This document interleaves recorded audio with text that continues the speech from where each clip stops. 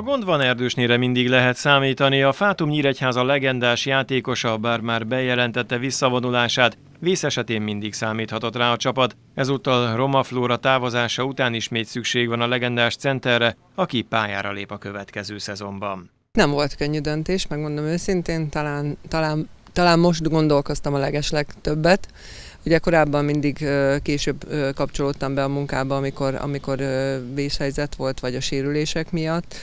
Most ez a vészhelyzet már augusztusban, augusztusba előállt, mm, de de nem tudok. Tehát ha itthon vagyok Nyíregyházán, és itt vagyok a csapat környékén, akkor, akkor meg kell állapítanom, hogy nem tudok nemet mondani, hogyha az egészségem engedi. A játékosok ma délelőtt kondicionális edzéseken vettek részt, az iskolai kezdés miatt néhányan hiányoztak, de a teljes keret ott volt Görögországban, a csapat edzőtáborában. Az edzőtábor ideje alatt Görögországban kőkemény munkát végeztek a lányok.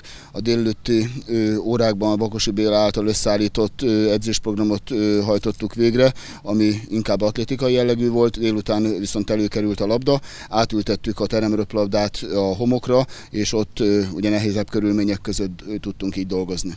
A keret még nem végleges, egy trinidadi válogatott játékos szerdán érkezik Nyíregyházára, és kapcsolódik be a munkába. Két fiatal korosztályos válogatott is a felnőttekhez került, és szükség is lesz a játékosokra. A csapat ugyanis a Magyar Bajnokság mellett a Magyar Kupában, a Mevza Kupában és a Challenge Kupában is indul.